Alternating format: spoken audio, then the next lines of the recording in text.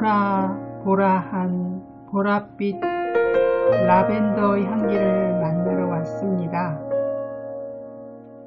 라벤더의 꽃말은 정절, 풍부한 향기, 기대라는 꽃말을 가지고 있습니다.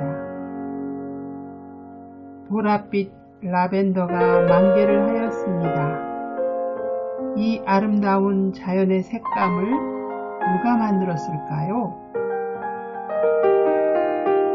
하얀 나비와 벌들이 라벤더 꽃에 이리저리 날아오르고 있습니다. 금계국과 어우러져도 양귀비와 어우러져도 너무나도 잘 어울리는 꽃밭에 온 마음을 빼앗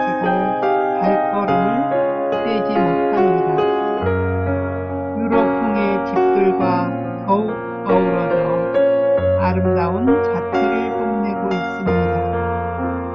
라벤더 꽃밭, 꿈길인 듯 그림인 듯 지상 낙원이었습니다.